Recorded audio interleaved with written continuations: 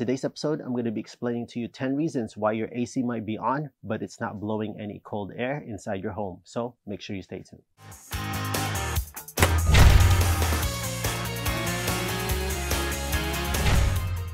Hey there friends, welcome to Fix This House. If you're new to the channel, consider pressing the subscribe notification bell so you can always be in tune on DIYs, how-to videos, and product reviews that I do within this channel. This was a very good question that was left on the comment section on one of my AC videos and they said that they hear that the fan was on but there was no cold air that was blowing inside their home. So what could be the issue? I'm going to explain to you 10 reasons why this might be happening. Let's start with reason number one. So one possible reason why you might mistaken your AC to be on inside your home and you think that it's not working, maybe it's because you think that the fan you're hearing is from your AC condenser, AC unit from the outside of your home that's on. Well, it's actually your fan on your furnace or your air handler inside your home that's running, but it's not your actual AC. So the thing that you have to do is you have to go outside and check if the AC outside your home, which is this unit right here, is actually on and you hear the fan going because one time this happened to me and I thought that the AC was on on the inside, but it's just blowing air. And that's pretty much it. It was hot, stagnant air. When I went outside, this AC unit was not on at all. So that was the main culprit. Possible reason number two is you have a bad capacitor. Now, I've made a video on this, on how to change one, how to test one.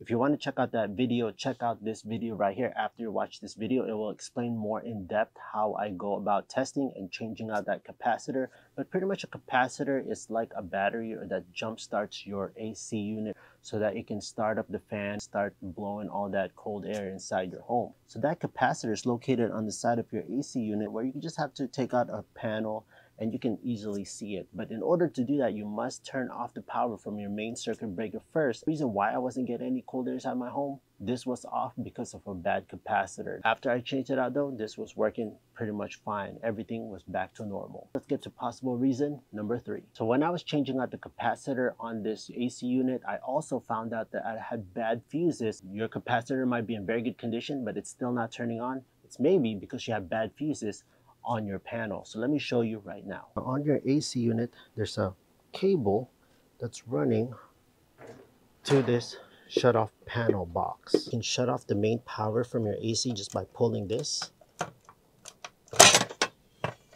I'll put this on a safe place. On here, there's a plate, there's a plastic plate. When you open this, While I was looking right here, notice that there are two 30 amp fuses right there. Now different models come with different types of fuses, so make sure you check which um, amperage or fuses that you need for your certain model. For this model that I have, I have two 30 amp fuses. So if you don't know what the fuses do, they're used to protect the electrical components and wiring from excessive amperage, which can damage either the motors, the switches, and wiring. So a blown fuse usually indicates another issue and took the damage so that more expensive components wouldn't need to be replaced. I actually hold the old fuses right here. Look how old they are.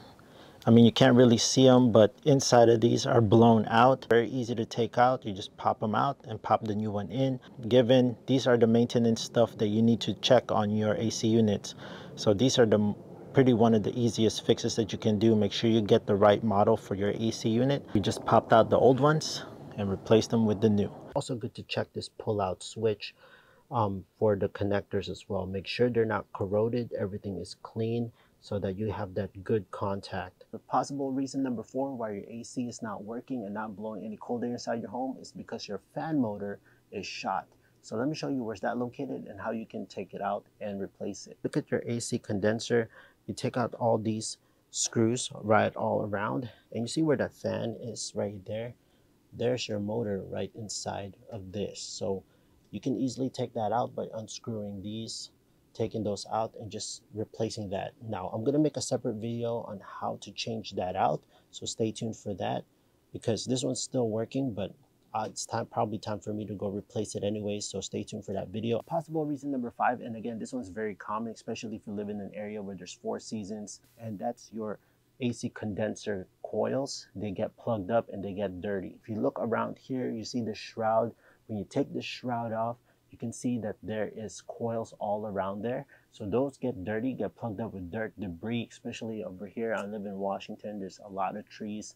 Pine needles get stuck on there.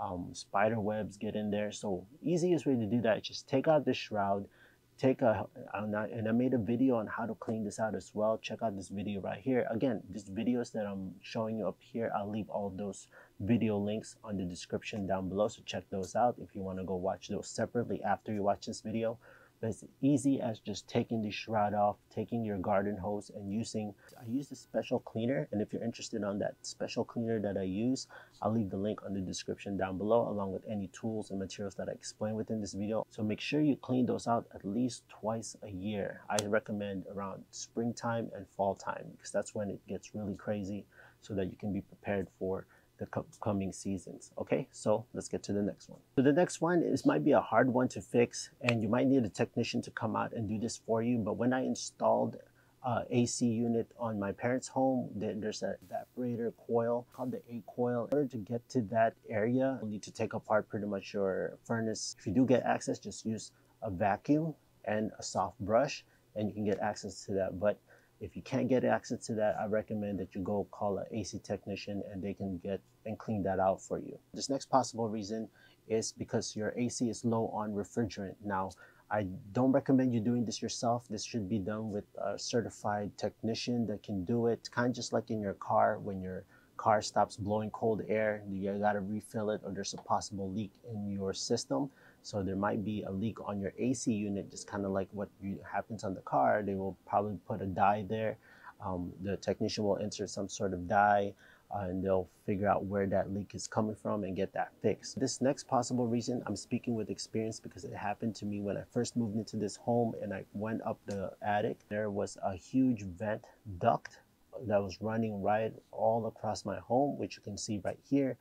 And it looked fine till I actually crawled on top and I saw that there was a disconnect on that vent duct and there was this pretty much all that air blowing all over my attic and I didn't know of it till I actually checked. Got some vent duct tape, taped the those openings and it was in multiple areas that was actually leaking so make sure you check for any possible leaks or any openings. This one was a huge one. I had to take that vent duct and push it together, realign it, tape it up and that fixed the problem. So check your ductwork to see everything is nice and connected. The next reason is a locked up compressor. So this compressor is located inside your AC condenser as well. If you take this out, you unbolt it, there's an AC condenser. It's a black cylinder type looking thing and I'll make a video on how to test and replace that in the future video. Last but not least, while your AC is might be blowing but it's not blowing any cold air, and that is your thermostat.